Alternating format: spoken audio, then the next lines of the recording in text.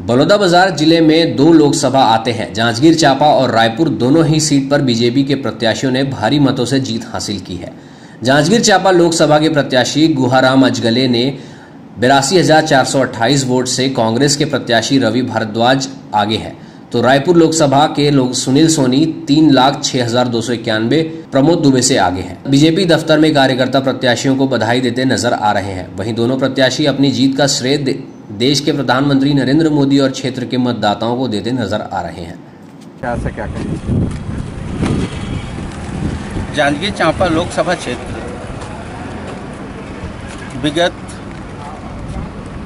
20 वर्षों से भारतीय जनता पार्टी के पक्ष में रहा है।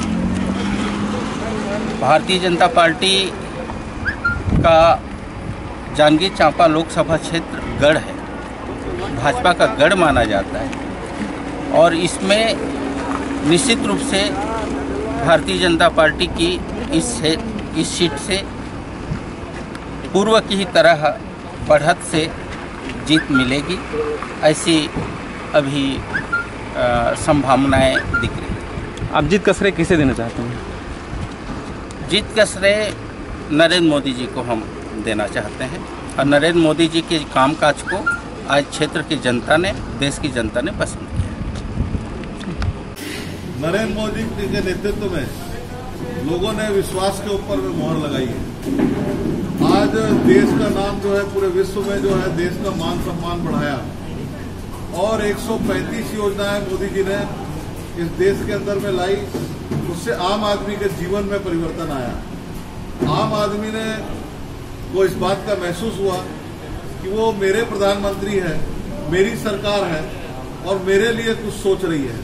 ये देश की आज़ादी के बाद में पहली बार ऐसा लोगों के मन में भाव उत्पन्न हुआ और यही विश्वास के ऊपर में लोगों ने मोहर लगाई है। और रायपुर लोकसभा में जो जीत मिल रही है, वो हमारे कार्यकर्ताओं ने परिश्रम की पराकाष्ठा की है और सभी लोगों ने बहुत मेहनत किया है।